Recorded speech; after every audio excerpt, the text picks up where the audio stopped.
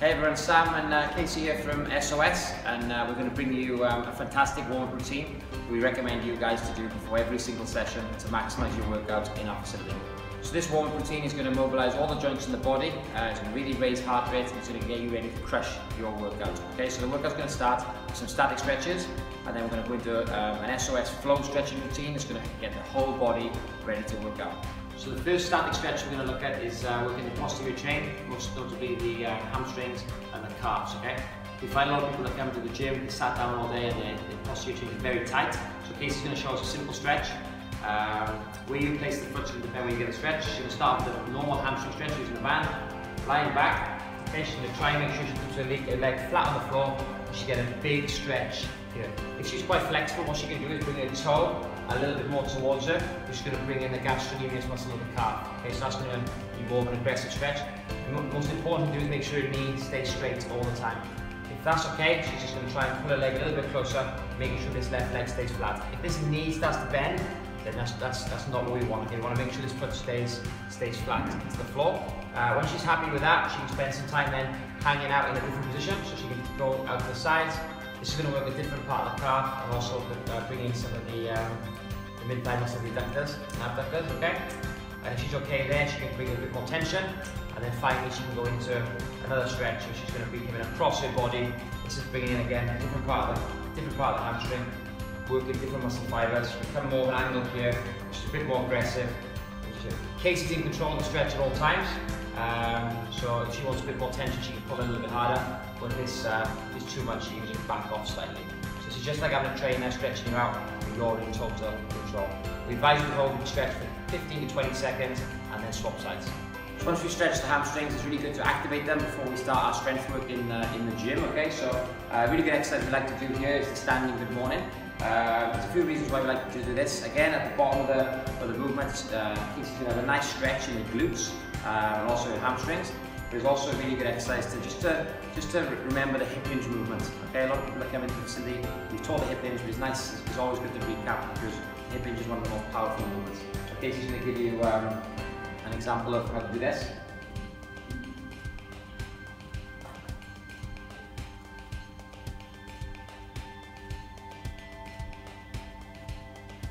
As you can see, Casey's keeping it back nice and straight. She's standing up and she's squeezing her glutes to the bottom. A nice tempo is about three seconds down, little pause, feel the stretch in hamstrings, and then stand up, squeezing the glutes at the top.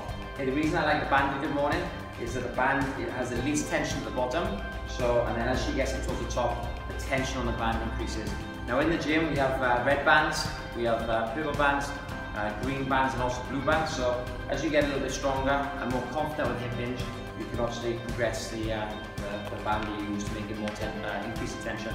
10 to 12 reps, guys, a couple of sets is, is, is perfect, and then we move on to the next exercise as part of our routine. Once we've mobilised the lower body and, and um, just got a little bit of blood flow in there, we can look at start to mobilise the upper body. Now the shoulder's is the most flexible joint in the body, uh, so as before we, we, we increase the strength around, uh, around the joint. So a really good exercise we like to do for mobility purposes uh, and also some strength is to do the dislocations, okay? Now this is really good because we also have sticks in the facility, but some people are so uh, tight in their, in their shoulders that they can't use a stick. The band allows you to pull some tension, to extend uh, the band, which allows you to dislocate. If that's, if that's too easy, all Casey needs to do is bring your hands a little bit closer together, which gives you a bit more, um, a bit more tension. Um, it's going to work those all those muscles the shoulder a lot better, okay? So we advise you do 15 to 20 rotations, um, and after every five reps, just see if you can move those hands a little bit closer. Okay, Casey's also getting some lat engagement when she pulls apart. Her lats are starting to engage here as well. So if, uh, if you are going to do an upper body routine, then uh, getting those lats fired and switched on is only going to benefit your workout. So once we've uh, mobilised the lower body um, and the upper body, we can start doing exercises or movement patterns that are going to potentially do a bit of both. So we're big uh, lovers here of the split squat. So Casey's going to do an overhead split squat with a band. Uh, like we spoke about with the shoulder dislocations, Casey's going to pull that band as far and as hard as far as she can, okay, create as much tension as possible to really activate the lats. The key is to make sure she has an active shoulder girdle, so the shoulder's nice and active and strong, uh, and in a solid position. Okay, so we're going to look at that now. Good. And she's going to go into a split squat. Good, there we go. So the key guys to get that knee to travel right over the top, hamstrings are going to make full contact with the gastrocnemius, which is your calf. So basically, you're trying to get your hamstring to touch your calf, and you're going to come up three seconds down, three, two, one. Pause for two seconds, tense the glutes. So Casey's getting a really big stretch on the hip flexors and the quads uh, on the on the, the back leg.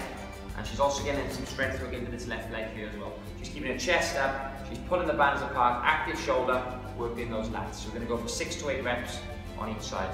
Um, with this guys, if you haven't got the flexibility to do it, really simple, all we're going to do is elevate that front foot with a, with a, a weight plate, a Reebok deck, or you can do it on a, any form of step. Okay, so the key is at all times to make sure that heel on the front leg stays down. So six to eight reps on both sides is, uh, is perfect. So guys, this is going to be the SOS flow routine. So we're going to put loads and loads of movement patterns together to raise the heart rate. Okay, this is this is much better than going on a just a bike or a cross trainer or, or doing aerobic activity to warm up. This is going to get the heart rate rising uh, really high, but you're also going to go into different positions uh, and you can hang out where you feel like you need you need to. Okay, so Casey's going to take us through a nice full body routine. What we advise you to do is the first time you go through it, really, really take your time, hang out in the positions where you feel tight. You might stay there for a little bit in certain areas and then try and extend uh, the stretch a little bit more and then, continue with the movement patterns that Casey's going to demonstrate. The second time you go through, you might find you, you go through it a little bit quicker, a little bit quicker, and what happens guys is you can go through the routine really fast as joints open up and as your mobility and your flexibility starts to improve. Why I like this guys is because it's a dynamic movement. Uh, the research is quite clear that if you hold stretches statically for too long before weight training, you're actually weakening the muscles. So by doing things more dynamically, um, you're gonna uh, improve mobility and functional movement patterns that are going to only benefit you in the weight room. So we're going to take you through this routine now. I advise you to do this before every single workout.